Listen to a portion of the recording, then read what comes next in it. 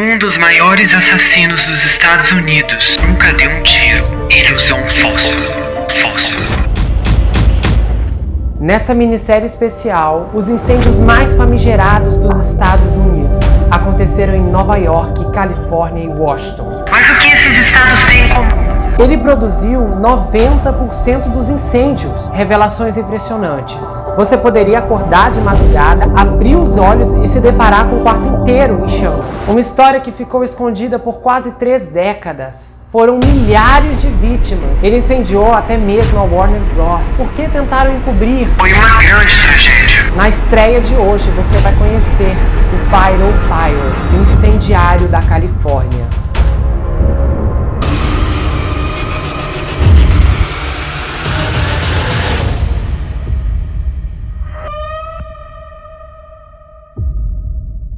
Ei pessoal, bem-vindos a esse canal, eu sou Gustavo Negreiro, seu psicanalista favorito e hoje a gente está estreando essa minissérie muito especial na mira de incêndios. Serão sete episódios em sete dias seguidos, onde você vai conhecer quatro histórias que vão te chocar. Eu vou trazer nessa minissérie detalhes inéditos, informações jamais vistas aqui no YouTube e você vai entrar no mundo da piromania de um jeito que você sequer imaginou. Em 10 de outubro de 1984, por volta das 19h30, em Sul de Pasadena, na Califórnia, um casal de meia idade, Billy e Alda Deal, e o seu neto de dois anos e meio, Matthew, entraram num shopping center em uma loja de ferragens do Home Center. Matthew imediatamente avistou o vizinho, Benkius, e pediu sorvete. Então seu avô prometeu uh, que lhe daria guloseima quando eles saíssem da loja de ferragens. E então os três passaram pela porta de entrada. O Billy e a Alda sabiam que a loja estava quase vazia, já que fecharia em pouco tempo. Então eles decidiram se separar e ir pegando as coisas individualmente para economizar tempo. O Billy foi para a exibição de madeira, que ficava perto das saídas norte e sul da loja.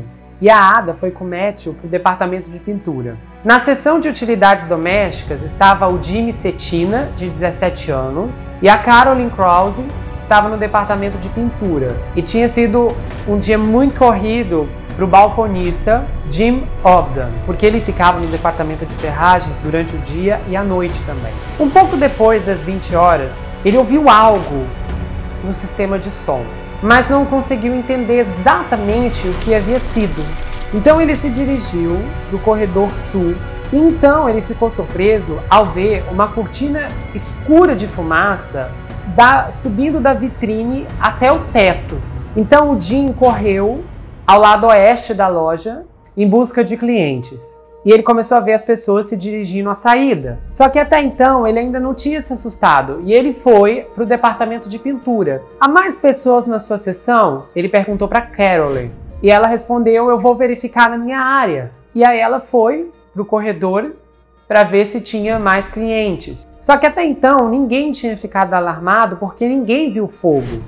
A única coisa estranha no ar era aquela coluna de fumaça. E aí o Jim ainda encontrou outros dois clientes procurando ferramentas tranquilamente e ele pediu para que eles fossem embora da loja imediatamente. E um pouco mais para frente, ele encontrou a Ada e o Matthew. Ela estava com um carrinho de compras. A Ada estava olhando para uma mercadoria na extremidade do corredor. Precisamos sair da loja, o Jim disse.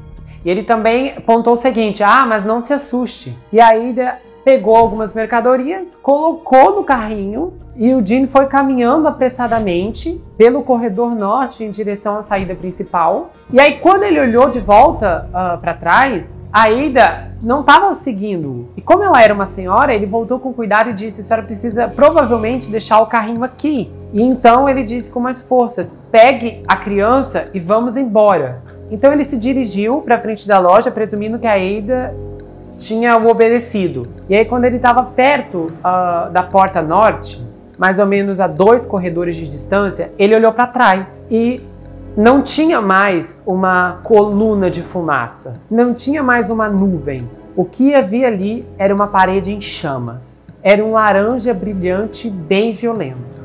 E então ele percebeu que uh, uma porta havia se fechado por conta própria e ele viu uma porta de aço caindo. Então ele tentou procurar a Ada e o Matthew, mas então ele ouviu um estalo e as luzes se apagaram e o Jim ficou preso. Lembrando que isso foi tudo muito rápido.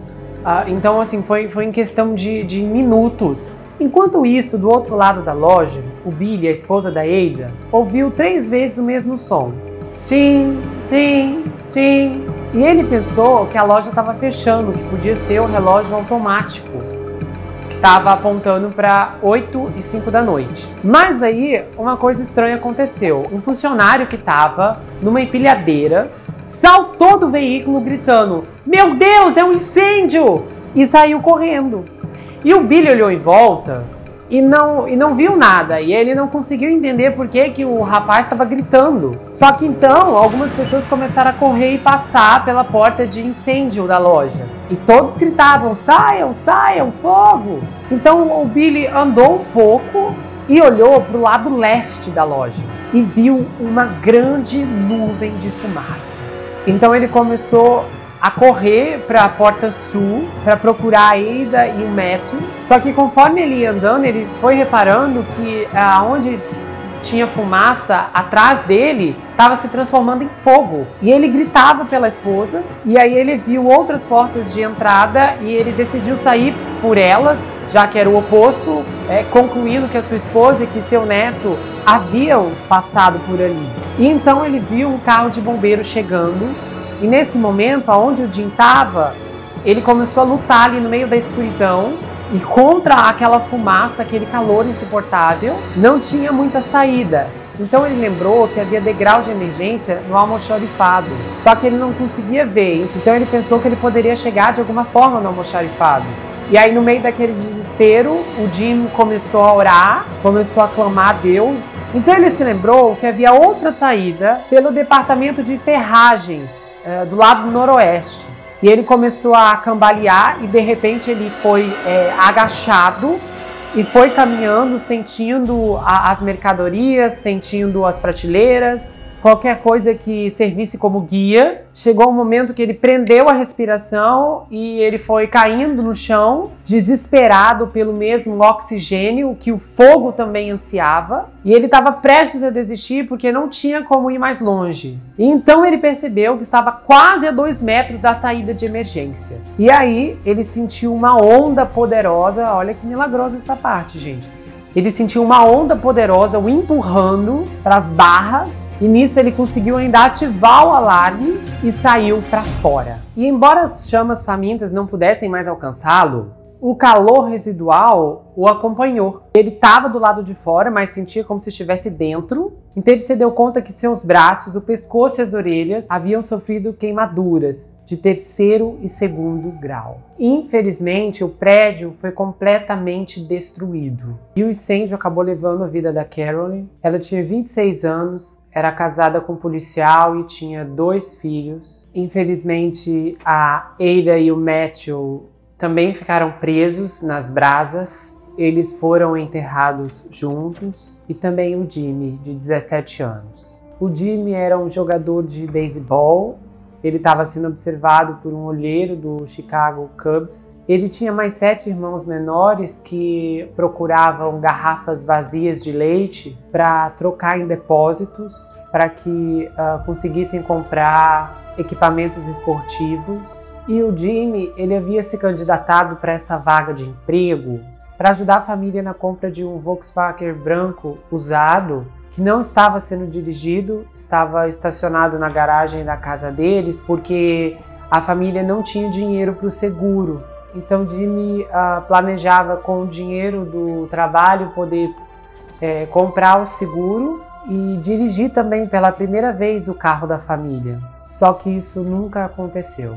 O irmão dele, é, em homenagem, dirigiu atrás do carro fúnebre e mais tarde o pai uh, mandou vender o carro porque ele não suportava a ideia uh, de ter que olhar para aquele carro sabendo que era por causa daquele veículo que o filho tinha se candidatado para trabalhar naquela loja. Ele era muito carismático e mais de 1.200 pessoas apareceram no funeral na igreja e ah, como decidiram celebrar, ah, fazer a missa no horário escolar, as salas de aula se esvaziaram e a polícia teve que bloquear o trânsito por quilômetros porque mais de 200 carros se dirigiam ao cemitério. E foi assim que começou um reinado uh, de horror que ia demorar muito para terminar. Isso causou uma comoção imensa e de imediato. No dia seguinte, investigadores de incêndio criminoso de todo o sul da Califórnia compareceram ao local. Então eles concluíram, por unanimidade, que a causa do incêndio era devido a uma falha elétrica. No entanto, John Orr era um especialista em incêndio criminoso e ele afirmou que aquele incêndio havia sido criminoso. É lógico que todos discordaram deste homem e embora ele estivesse alegando que, uh, pelo que ele estava vendo, foi algo deliberado e que talvez poderia ser um incendiário em série, ninguém acreditou. Ele era capitão de um departamento de bombeiros, além de ser um especialista investigador em incêndios, em Glendale, no sul da Califórnia. Enquanto ele crescia, ele sempre quis uh, entrar para o departamento de polícia,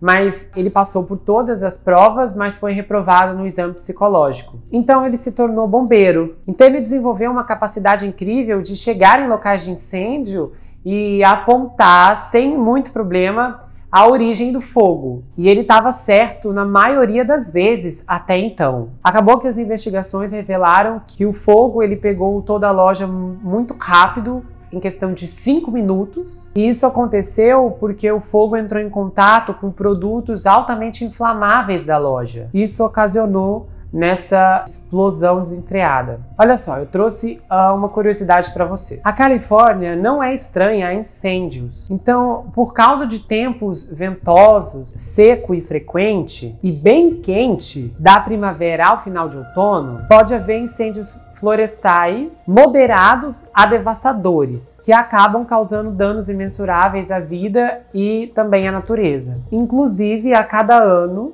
os ventos do diabo, como é o nome que eles deram, podem transformar várias regiões numa caixa de pólvora. Só que aí o que, que aconteceu? Mais incêndios começaram a aparecer em um ritmo alarmante. Então logo se suspeitou que poderia ser obra do mesmo indivíduo, principalmente por causa das inúmeras semelhanças. O incendiário usou dispositivos de cronometragem que envolviam um cigarro aceso em três fósforos embrulhados em um papel de carta amarelo forrado, preso em um elástico. Esses dispositivos geralmente eram deixados em depósitos de linho densamente povoados e deixados para queimar lentamente. E o fogo, subsequentemente, se espalharia pelas fronhas de linho, resultando em incêndios incontroláveis. Também Outros incêndios menores passou a acontecer em colinas cobertas de grama para afastar os bombeiros das áreas congestionadas que estavam já em vigilância. Um incêndio em particular destruiu um pedaço de uma série muito famosa da televisão da época, que era gravada no lote dos estúdios da Warner Bros. A série era The Waltons. Bom, em 1987 estava acontecendo uma convenção é, de incêndios criminosos para investigadores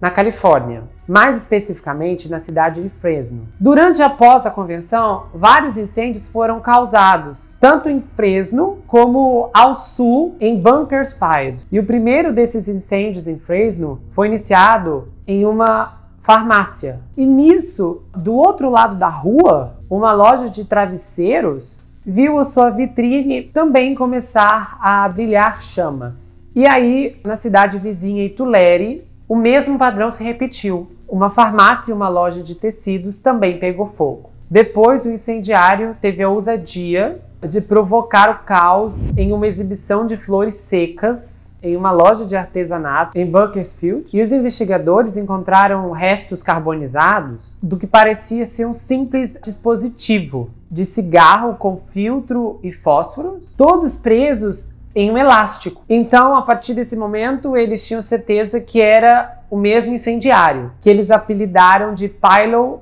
Pyro, por causa da predileção que ele tinha em incendiar lojas de tecido. Então, o capitão Marvin Case, do Corpo de Bombeiros em Bakersfield, suspeitou que isso fosse obra de um dos especialistas presentes na convenção. mas sem evidências não tinha como ele comprovar essa teoria. Então, em março de 1989, outra reunião de especialistas em incêndio criminoso aconteceu em Pacific Grove, também na Califórnia. E misteriosamente, a convenção coincidiu com uma eclosão de incêndios nas cidades entre o local da conferência em Glendale. Então o capitão de bombeiros Casey foi investigar esses incêndios e ele percebeu que era o mesmo dispositivo que havia visto anos antes. Cigarros e papel pareado amarelo tinham sido usados para iniciar os incêndios. No entanto, dessa vez, ele foi capaz de localizar uma pequena pista adicional a de uma impressão digital parcial. Agindo com base no seu palpite anterior, de que o incendiário era um colega especialista, Casey comparou a lista de participantes da conferência anterior em Fresno com a lista da convenção realizada em Pacific Grove. Então ele conseguiu compilar uma pequena lista de suspeitos, contendo 10 nomes. Entre eles estava o nome de John Leonard Orr, o capitão de bombeiros de Glendale, que havia sugerido que o incêndio na loja de ferragens não tinha sido falha elétrica, mas havia sido proposital. Então, ele começou a dar uma investigada no John. E aí ele percebeu que o John era ativo nas primeiras equipes de investigação e que ele participou da maioria dos incêndios criminosos que haviam acontecido até então. Lembra do incêndio no lote da Warner Bros? Ele estava lá, ele conseguiu sozinho concluir como cada um havia sido iniciado e o ponto de origem, e sempre estava disponível para conversar com os repórteres depois do início de incêndio. E ele sempre assegurava para o público de que a investigação estava em andamento e que eles faziam o melhor possível para encontrar esse incendiário. Não só isso, como pasmem, ele também descobriu que o John escrevia artigos para revistas, jornais, sobre a recente onda de incêndios que estava tomando conta da Califórnia. Sem contar as entrevistas locais que ele deu, foram inúmeras. Ele passava rosto de uma pessoa experiente, de uma voz amena, e ele sempre explicou as suas descobertas para quem pudesse ouvir. Então o Kessler fez o seguinte: ele pegou as impressões digitais dessa lista de 10 suspeitos e comparou com aquela que ele havia recuperado naquele papel. Só que como a impressão ela não estava completa, acabou que o resultado deu negativo para os 10 nomes. Então os 10 tiveram que ser descartados como suspeitos. E o John continuou com a sua carreira e a sua habilidade incrível de farejar a causa raiz dos incêndios acidentais e também casos deliberados. Em um artigo no jornal local, datado em 5 de julho de 1990, ele contou como havia sacrificado o seu feriado do Dia da Independência pelo 11º ano consecutivo para que pudesse patrulhar as ruas. E ele criticou severamente os fogos de artifício. Ele disse que eles desrespeitavam a lei e ele procurava fiscalizar para que esses fogos não causassem nenhum incêndio. Só que no final de 1990 para começo de 1991, outra série de incêndios começou. Só que dessa vez ela era centrada na área metropolitana de Los Angeles e dos arredores. Em resposta a isso, uma grande força-tarefa conhecida como Pilo Pyro Task Force foi formada para identificar e prender o incendiário. Tom Compusano, da Força Tarefa de Incêndio de Los Angeles, participou de uma reunião em 29 de março de 1991 da equipe de ataque regional de investigadores de incêndio, conhecido como FIRST, havia sido formado por uh, cidades menores em um condado de Los Angeles que não tinha sua própria equipe de investigadores. Então, por lá, ele uh, distribuiu um folheto que descrevia o modus operandi do Pylo Pyro. E nessa mesma reunião estava presente Scott Biker. Ele era uh, do gabinete do Corpo de Bombeiros do estado da Califórnia. Então, ele contou ao Tom sobre a série de incêndios que estavam sendo investigados pelo Cassie. E dois de seus colegas se reuniram com o Cassie, que compartilhou sua teoria e todos uh, também acreditavam nessa hipótese de que o incendiário era um infiltrado, era alguém da força-tarefa, era algum bombeiro, era algum investigador, era alguém que servia a lei. Então Cassie forneceu a eles uma cópia da impressão digital que ele havia conseguido anos antes. E o Tom usou uma tecnologia de impressão digital aprimorada que estava disponível para localizar um suspeito. E em 17 de abril de 1991, a impressão foi comparada com sucesso à do John Orr e ele se tornou foco de uma investigação intensa. O que, que aconteceu? Eles colocaram um dispositivo de rastreamento uh, no carro do John na tentativa de pegá-lo em flagrante. Só que eu não sei como, em maio de 91, o John descobriu o dispositivo de rastreamento e ele acabou jogando fora. Só que o que ele não sabia é que havia mais um rastreador. Mas aí, em novembro, o outro rastreador foi colocado em seu carro. E em dezembro, os investigadores acumularam evidências suficientes para prender o John que estava presente no incêndio suspeito. Um grande júri federal proferiu uma acusação e ele foi preso em 4 de dezembro de 1991. Durante uma busca em sua casa, os investigadores encontraram um manuscrito de 350 páginas de um romance que o John havia escrito, que parecia quase uma história de confissão. Ele intitulou o livro como Pontos de Origem Brincando com Fogo era a história de um incendiário chamado Iron Stylos, que também trabalhava como investigador de incêndios criminosos. E um dos incêndios causados pelo Aaron foi uh, num shopping center que era o mesmo onde aconteceu aquele primeiro incêndio na loja de ferragens. E o método que o Aaron usou havia sido também o mesmo método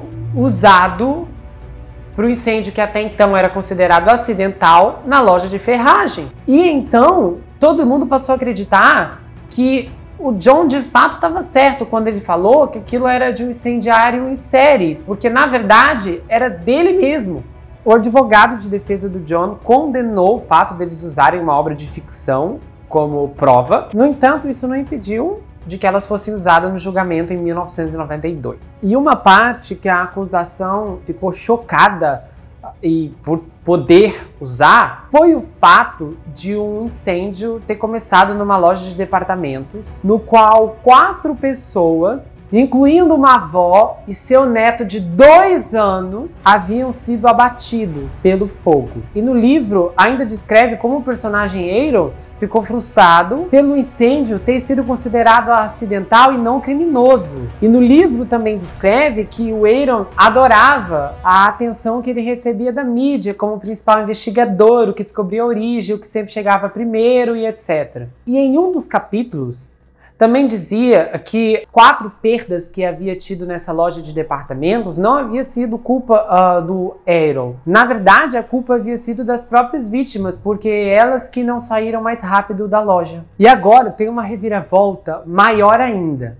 Há uma cena no livro que descreve o momento em que o netinho de dois anos pede para a avó comprar um sorvete para ele de menta, exatamente o mesmo sabor que o Matthew pediu para os avós meia hora antes do incêndio começar. E esse detalhe veio à tona porque, como o avô havia sobrevivido, ele lembrava com clareza que o Matthew tinha pedido de menta. Então, quando ele soltou essa bomba para a promotoria, ninguém nem acreditou que ele chegou ao tal ponto de colocar esse detalhe no livro que era então uma informação conhecida apenas pelo avô da criança. Estava presente e que escapou por pouco do incêndio. Então aí eles concluíram que o John estava por perto o tempo inteiro, ele rondou as pessoas sem ninguém perceber. E o John, em sua defesa, alegou que ele baseou todas essas tramas do livro uh, nos incêndios que tinham acontecido, mas que eh, não era porque ele havia causado, mas era porque ele vivenciou tudo aquilo. Ele disse que eram absurdas as acusações e que o livro era uma obra de ficção. O júri, é claro, discordou dessa defesa patética e o considerou culpado pelas quatro baixas. Ele também foi considerado culpado por mais 20 outros crimes, inclusive por atear fogo em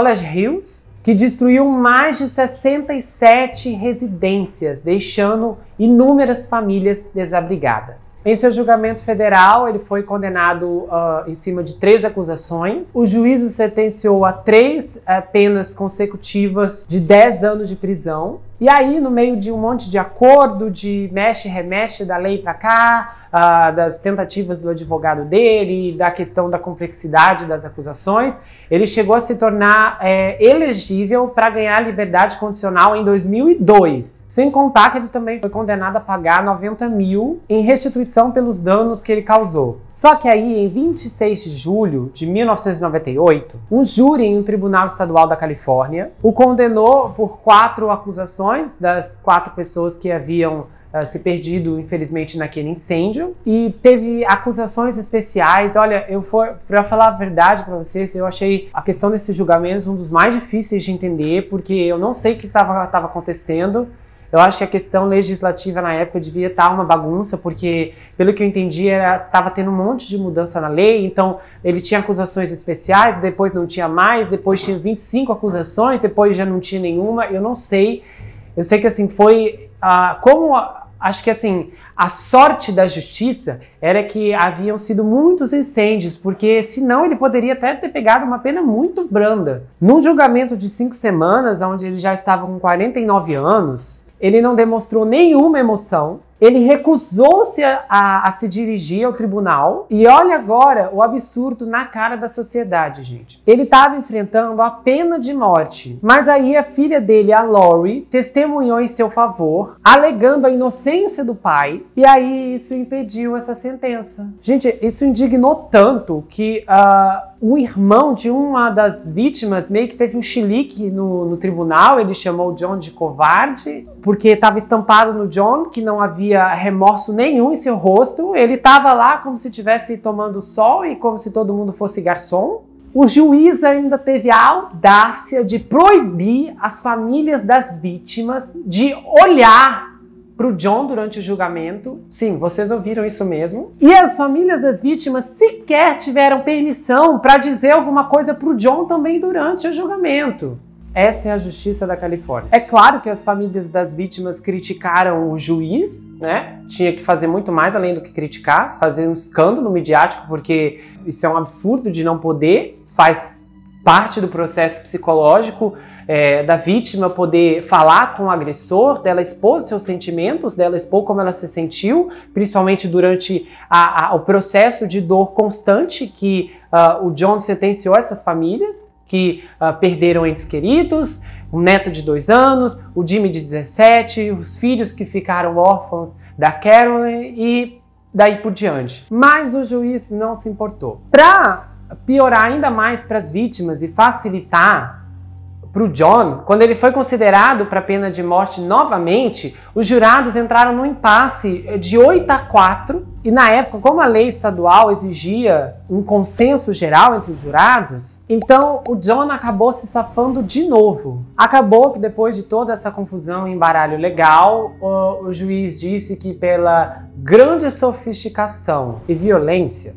ele estava condenando John à prisão perpétua sem direito à liberdade condicional. Embora eles não conseguiram provar no tribunal, mas eles descobriram que o John foi responsável por mais de 2 mil incêndios na Califórnia e ele está cumprindo pena na prisão estadual uh, da Califórnia e ele está sendo mantido é, por um pseudônimo. Alguns investigadores de perfis do FBI considerou o John como um dos piores incendiários em série dos Estados Unidos. E só para vocês terem uma noção, depois que o John foi preso, os incêndios diminuíram em 90%. Mas, apesar de todos os fatos, o John continua alegando a sua inocência lá mesmo da cadeia, ele diz que é uma injustiça, ele chegou a dar uma entrevista, eu vi na época. Gente do céu, é impressionante o rosto dele. A expressão, a calma, ele é, se diz como uma vítima e que também ele foi traído pelo sistema legal. Ele ainda teve a audácia de publicar seu romance da cadeia,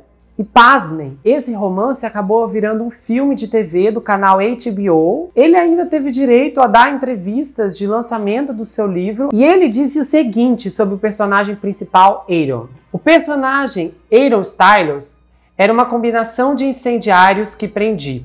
O livro foi publicado em 1 de agosto de 2002 contendo 240 páginas. Posteriormente, não sendo bastante, o John ainda escreveu uma autobiografia e publicou também. As duas filhas do John o consideravam inocente uh, no começo, inclusive aquela que testemunhou e que ajudou o pai se safar da pena de morte lá atrás. Só que aí um dia ela teve contato com as inúmeras evidências contra o pai e então ela uh, aceitou que ele era culpado. Desde então ela se tornou uma palestrante motivacional e ela interrompeu todo o contato com o John. Mas a sua outra irmã defende a inocência do John até hoje. Os bombeiros, eles têm uma reputação muito positiva nos Estados Unidos. Eles são muito bem mais vistos do que os policiais, do que os agentes do FBI, do que a CIA, do que muita gente, na verdade. É, só que há mais ou menos a cada ano são presos uh, ah, 100 bombeiros condenados por incêndios criminosos. Isso é uma síndrome que vai desenvolvendo porque, na verdade, a culpa não, não é da profissão, muito menos né, desse ofício tão importante que eles executam, mas é das pessoas que vão especificamente para esses lugares porque elas sabem que vão ganhar experiência, poder, que poderão executar uh, seus crimes sem ter muitos problemas. E é agora que a gente entra na nossa análise. O curso dessa patologia do John, ela excedeu todo e qualquer episódio crônico que, que houvesse, porque desde o início ele deixou claro que ele pretendia se tornar um incendiário em série, quando ele começou o seu primeiro incêndio. Então, eh, diferente de outros casos que é, foi acontecendo um atrás do outro de uma forma não planejada, o John já planejava isso, sem contar o caráter sexual que ele demonstrou nas inúmeras tendências da forma como ele executou os incêndios nas lojas, nas farmácias, nos tecidos. E uma habilidade que foi reconhecida pela criminologia é que incendiário pode ser o mais dissimulado dos criminosos. E como John gostava de apreciar as chamas, de assistir às chamas, inclusive alguns psiquiatras consideram isso também uh, um sintoma de infantilismo isso de alguma maneira é uma regressão à infância. E a gente vê também um outro ponto uh, é, na, na obscuridade desse homem, é a inabilidade de assumir as responsabilidades, principalmente pelas quatro vítimas que ele foi diretamente responsável, principalmente no trecho que ele descreve no livro, que ele usou a seguinte palavra: as vítimas não foram espertas o suficientes para escapar da loja, por isso a culpa é delas. Ele era um homem de sangue frio que nunca teve pretensão nenhuma de assumir a culpa. E a gente consegue ver aqui um padrão psicológico porque ele tinha um grande sonho de se tornar policial. E aí ele foi recusado pela polícia. E antes de entrar no departamento de bombeiros, que ele era capitão, ele foi para um outro e ele acabou sendo recusado lá também. Então já se percebe que havia um sentimento de rejeição. E a rejeição, ela é invisível. Eu não consigo ver a raiz da rejeição ao olhar para você, ao olhar para outra pessoa. A gente não vê ali uma, uma florzinha fala, mostrando rejeição. Ninguém consegue ver, mas a gente pode perceber através do comportamento, das atitudes e das falas e dos aspectos verbais. Mas algumas pessoas, elas mascaram propositalmente para esconder, ocultar e fazer com que assim outras pessoas não percebam.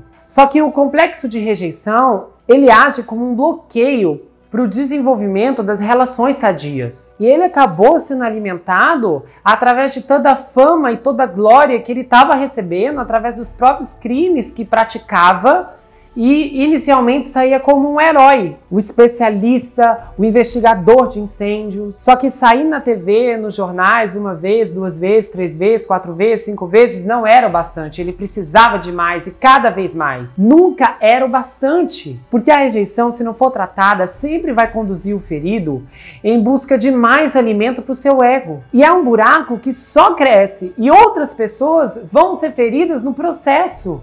Então, o ferido ele vai desestabilizar outras pessoas também, transformando estas em feridas. E essa questão da rejeição, ela é tão importante e muitas vezes hoje as pessoas não sabem como lidar, nem com tanto conhecimento é, disponível, com tantos profissionais de diversas áreas eu vejo que há uma incapacidade, uma falta de recursos, ou dos profissionais, ou então dos próprios feridos, de se encontrar no que poderia trazer uma restauração interior, porque para vocês terem uma noção, as pesquisas de neurociência, elas evidenciaram que as situações de exclusão, de rejeição, são ativadas pela mesma região neural que processa a dor física. Inclusive, eles conduziram testes em pessoas que tomaram aspirina antes de passar por uma situação de rejeição. E as pessoas que passaram por esse experimento, que haviam tomado aspirina, sentiram menos dor do que as que não tinham tomado nada. Provavelmente John nunca havia falado com a esposa sobre a rejeição que sentia dentro de si. Eu não sei do histórico infantil dele, mas provavelmente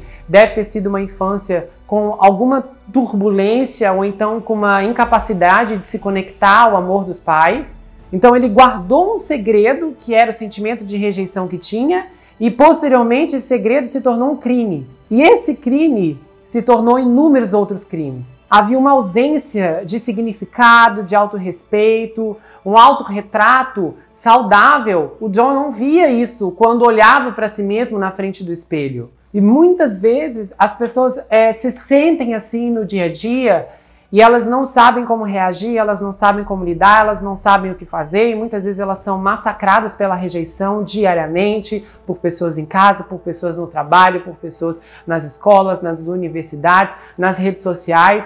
Hoje em dia as pessoas uh, só sabem atacar, criticar, são ataques violentos todos os dias, são pessoas feridas que estão ferindo outras pessoas, e aí a gente vê Quantos estão tomando remédios, estão lidando com situações difíceis, com sintomas tristes, com pessoas que não estão conseguindo se levantar da cama por conta das suas próprias condições emocionais. E eu não sei se você é o rejeitado ou se você é o rejeitador. Seja em qual papel você estiver, saiba que há um terceiro caminho.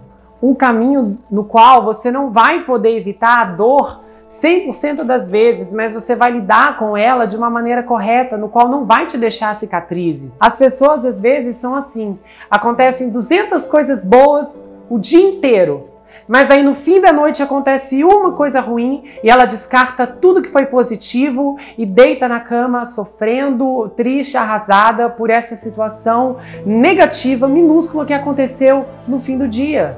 Então, o dia colorido se torna dia cinza por causa de uma coisa, por causa de uma questão. E infelizmente, isso deixa as pessoas mais amargas, mais vazias e as transformam no ponto a qual esse homem chegou, incapaz de sentir a dor que ele causou nas pessoas, incapaz de enxergar o sofrimento que ele causou na tantas famílias, nas pessoas que tiveram seus negócios prejudicados, nas famílias que ficaram desabrigadas, em tanta gente que viu sua vida ruir, desmoronar, porque uma circunstância ruim pode destabilizar alguém de uma forma que a gente não sabe nem contar, não consegue contabilizar, porque no dia a dia nós só estamos com a gente mesmo, nós não estamos com os outros. Vemos as vítimas nas manchetes no primeiro, no segundo dia, mas depois a gente não sabe mais. Nem todas elas são presenteadas, nem todas elas são amparadas, nem todas elas recebem ajuda que deveriam receber. Infelizmente, todo mundo tem seus problemas, a vida continua para todo mundo. E quem causa o sofrimento a outra pessoa esquece, mas quem sofreu não esquece. E às vezes tenta esquecer e tem dificuldade. E se você tem sofrido com rejeição, você precisa procurar ajuda, de alguém que vai ter poder, sabedoria, conhecimento, inteligência para te ajudar, para te orientar, para esclarecer questões que você não tem como responder ou que você não sabe o que fazer. Porque por mais que você esteja sendo uma vítima agora, a rejeição ela vai fazer o que ela faz de pior com as pessoas. Ela vai te tornar um monstro no qual você não pretendia ser, mas você acabou se tornando pelas dores que não foram tratadas. E aí a gente vê o John, um homem que tinha uma necessidade insaciável de reconhecimento e glória, aonde ele chegou num ponto da vida dele que trazer incendiários à justiça não era mais o bastante. Então ele lançou um esquema diabólico onde ele jogava dos dois lados da lei, traindo o seu departamento, traindo os cidadãos da Califórnia que ele jurou proteger e deixando um ego que não conhecia limites assumir o controle. Você não tem culpa de ter sido machucado, mas é sua obrigação fazer o possível para estancar e tratar a chaga. Acenda a luz sobre os quartos escuros do seu coração. Deixa a clareza entrar para iluminar as feridas, algumas que até você não se lembra mais, mas ainda estão ali porque pode ser que a chave para a sua cura esteja por detrás da sua dor. Pessoal, espero que vocês tenham gostado dessa abertura, desse episódio de estreia. Amanhã tem muito mais e a trama que eu vou trazer aqui vai envolver um incendiário imigrante. Então se prepara para o que vocês vão ouvir. Eu peço a você que compartilha, que dá o seu like, que passa esse vídeo para frente, assim o YouTube entende que você gosta desse conteúdo e ele me ajuda muito mais na divulgação. Aproveita e me siga no Instagram, Gustavo N Psicanalista. Se você quiser saber mais do meu trabalho, tem o meu livro Perfeito Estranho, já está disponível nas livrarias, nas plataformas digitais, na Amazon, no Kindle. É um suspense incrível aqui. Se você adquirir pelo meu site, você ganha marcadores e posters. E eu tenho certeza que este livro tem muitas respostas para você. Qualquer coisa eu te respondo nos comentários. E não se esqueça que aqui você sempre vai ter um amigo. Até mais, pessoal!